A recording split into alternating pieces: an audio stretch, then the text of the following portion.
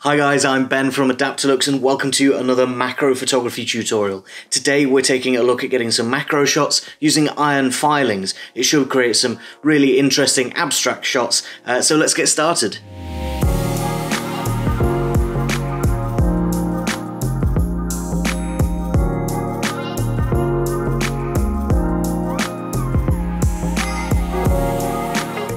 Iron filings are not the most common subject that you're going to find around your home, unless maybe you're a, a science teacher and you've been teaching kids how to uh, visualize the magnetic fields uh, coming out of a magnet, then you're generally not going to have any iron filings around.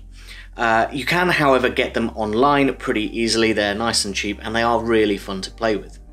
I was inspired to shoot this uh, particular subject by one of our community members on our Facebook group. I'll put a link down to our Facebook group in the description if you want to go and check that out and join in the discussion. Uh, and I'll also put a link up in the top corner to our ferrofluid video, which uh, in turn inspired the community to start using magnets. Uh, this is my 45 kilo pull weight magnet that we got for that ferrofluid video and I'm going to use this to get some shots of our iron filings stacking up as I sprinkle them around. I'm going to start playing around with our setup uh, and see what we can do um, to keep these iron filings in check.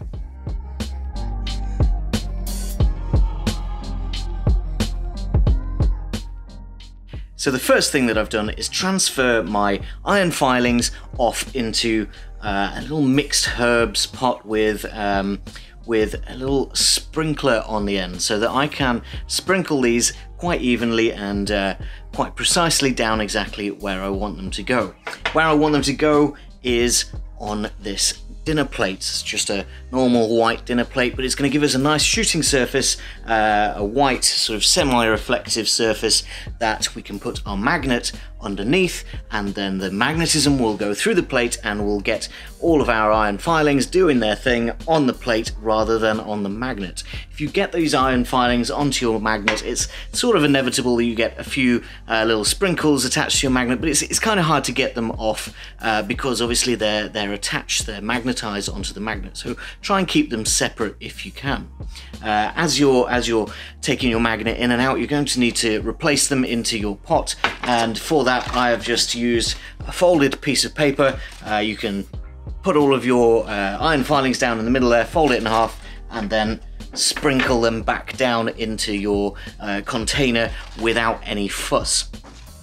Then that last thing that we're going to need is some lighting. So I have the Adaptalux Studio here, I've got it sat on the miniature tripod, and because uh, the iron filings are colourless, they're grey, and I don't particularly want sort of bland black and white images. I'm going to be adding some color and I think that's going to be really interesting when we get into uh, the macro scale, uh, really close up. Uh, we're going to be adding uh, color filters. I've got uh, colored lighting arms, so blue, green, red. I've got an amber arm as well, a couple of white arms to begin with. Um, but let's set all of this up and see exactly what uh, happens when we introduce a magnet to our iron filings. So here we go, I've got my magnet sat underneath my plate just under here, and I've got two white lighting arms with uh, diffusers just plugged in here so that we can get some nice clean white light to begin with. Uh, I've got my iron filings here and I'm just going to click the top open and start to sprinkle these right in the middle of our plate. And you can see there almost immediately we've got some little spikes which are really really interesting uh, coming out of that white of the plate. If I start to sprinkle a little bit uh, further back, so uh, I'm aiming for around here, you'll see that the magnet is actually attracting the iron filings along the plate, growing these little tendrils out of that uh, main mass of spikes in the middle there. If I put a lot more down into the middle, we've got these giant spikes growing out of the out of the center of where the magnet is, and I can just keep adding these. The spikes will collapse and regrow, uh, and we can just keep going. And then when we're ready to stop, all I need to do is take that magnet away from underneath. So I'll just, uh, in fact, move the lighting out of the way to begin with.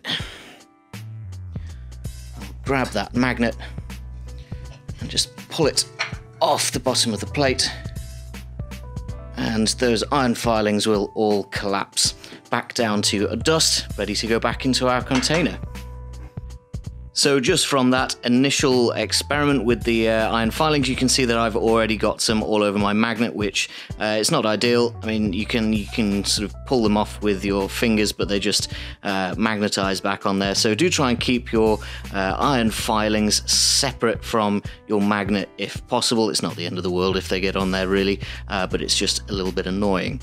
Uh, what might be more problematic is if you're using the Adaptalux Studio, do remember that we have magnets on the ends of our lighting arms and inside these uh, color filters and diffusers.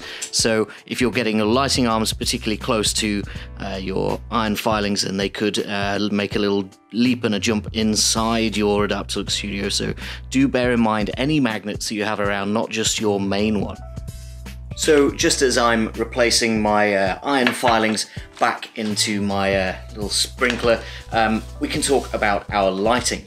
We're going to need some, some coloured light, something to make this a little bit more interesting than the, uh, the just black and white iron filings that we've got here. The black and white is actually really nice. I've got some really cool uh, shots of just really strange iron filing uh, landscapes growing out of this white plate. But I want to find out what happens if we go ahead and put a, say, pink color filter onto our uh, lighting arms or maybe change the lighting arms themselves to a completely different color. So I'm going to go ahead and start experimenting with changing our lighting arms over, changing our color filters and diffusers over for, for different colors, and also changing the position of these lighting arms so that we can try all sorts of different angles on this, uh, this iron filing pile as the spikes fall, but also as they grow in from the sides. We can take a look at that from the top, from uh, a side angle. Um, but all of this, I think, is going to be really, really interesting to look at in macro.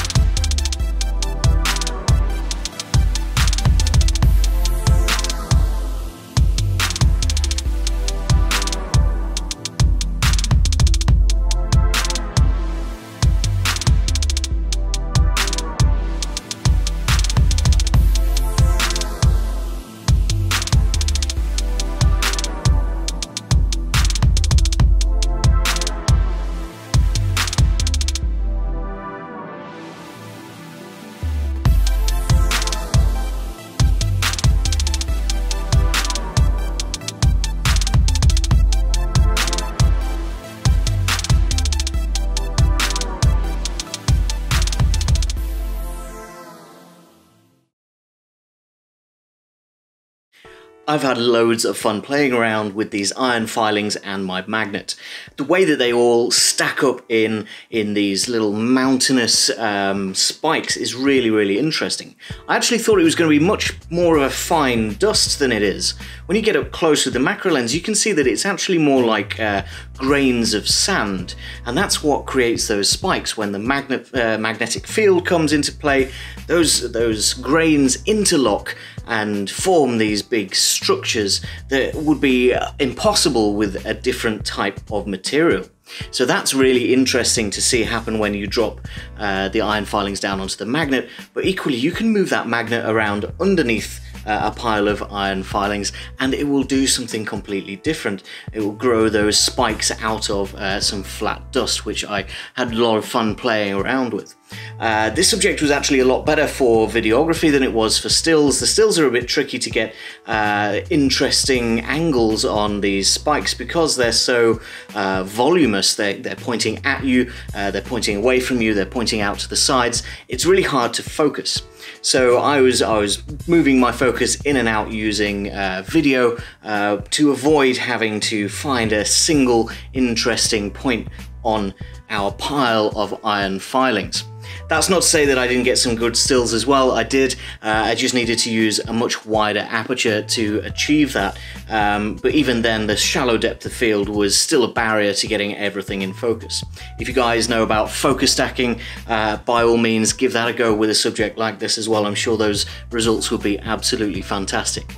If you do try this out and uh, get some really cool results with photo stacking or any other techniques that I might not have used today, uh, do let us know down in the comments. I want to see exactly what you guys are doing because this, I think this is a really uh, unique subject for, for macro photographers to try out. While you're down in the comment section, make sure to give the video a like if you enjoyed it. Hit the subscribe button if you want to see some more macro photography ideas, inspiration, tutorials and things like that in the future. Uh, we'll be making lots more videos, so stick around. Uh, for now though guys, I hope you enjoyed this video. Thank you very much for watching and I'll see you next time.